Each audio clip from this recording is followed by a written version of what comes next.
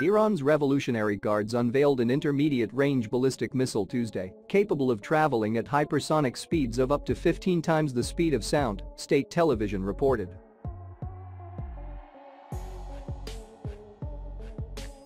President Ebrahim Raisi hailed the new missile's hypersonic capability, saying it would boost Iran's power of deterrence and bring peace and stability to the countries of the region.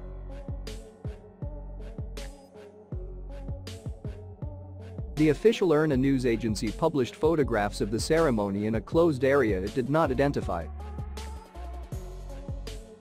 Several top military commanders were present, including Guards Chief General Hossein Salami.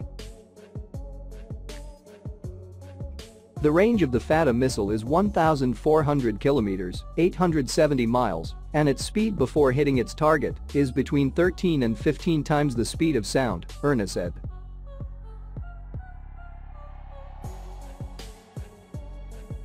Like slower ballistic missiles, hypersonic missiles can be equipped with nuclear warheads, and Iran's announcement it was producing one in November prompted International Atomic Energy Agency Chief Rafael Grossi to express concern.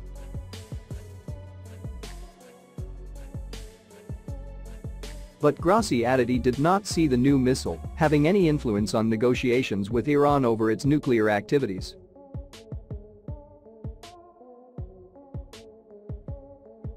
Talks between Tehran and major powers on reviving a 2015 nuclear deal that was left in tatters when Washington unilaterally abandoned it in 2018 and imposed renewed sanctions are currently stalled.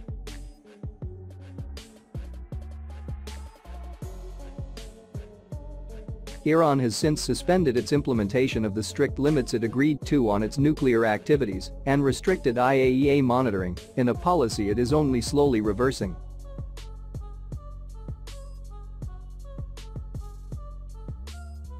Unlike conventional ballistic missiles, hypersonic ones fly on a trajectory low in the atmosphere, enabling them to reach their targets more quickly and with less chance of being intercepted by modern air defenses.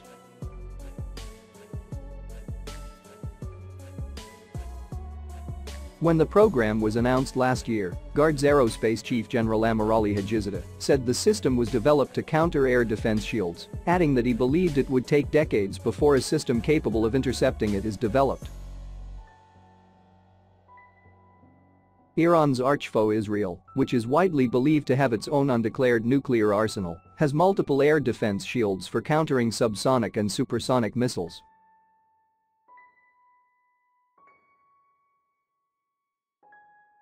North Korea's test of a hypersonic missile last year sparked concerns about the race to acquire the technology, which is currently led by Russia, followed by China and the United States.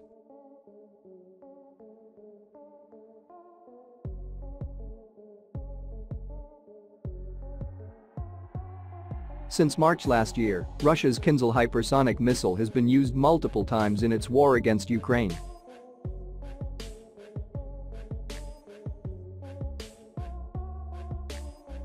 Speaking at the high-voltage unveiling ceremony of Fateh 1 in June this year, commander of the IRGC Aerospace Force Brigadier General Amir Ali Hajizadeh said Iran has become just a fourth country in the world to have this technology, without naming the said countries.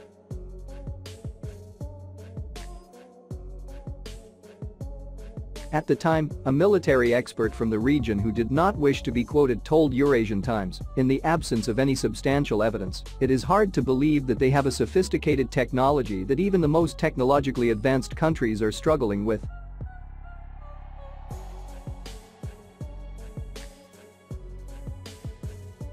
Tehran is bluffing or highly exaggerating its capabilities.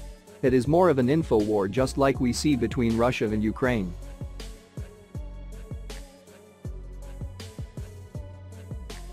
Although several military watchers in the region have expressed confidence in Iran's capabilities, others have expressed skepticism.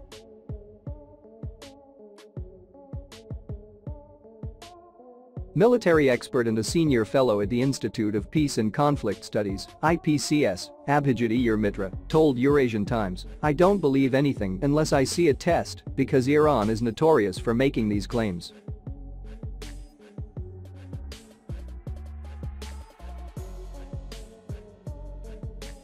Every year, they post pictures of a dozen weapons they claim to be developing. They have released images of two stealth mock-ups, a stealth warship, and several other missiles none of which materialized. It seems like a complete sham.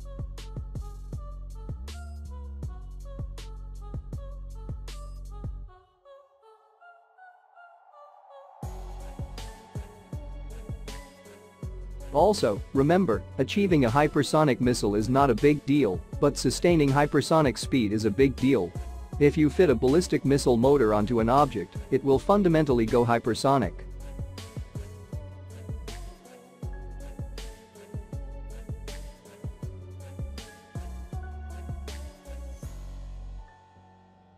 Can it sustain hypersonic speed by itself, and can they make that motor small enough to be used by a missile like this?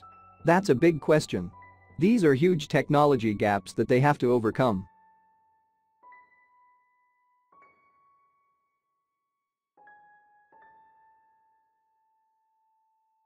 It may still be a profoundly unsettling precedent for Iran's regional adversaries, especially Israel.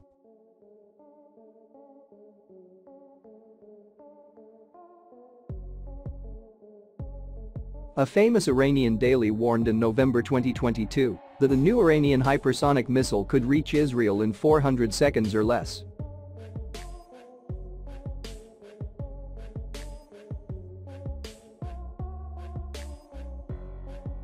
Just a month later, Iranian Navy Commander Rear Admiral Shahram Irani announced on July 3 that a hypersonic missile would be installed on Iran's homegrown Damavand 2 destroyer, slated to be inducted into service soon.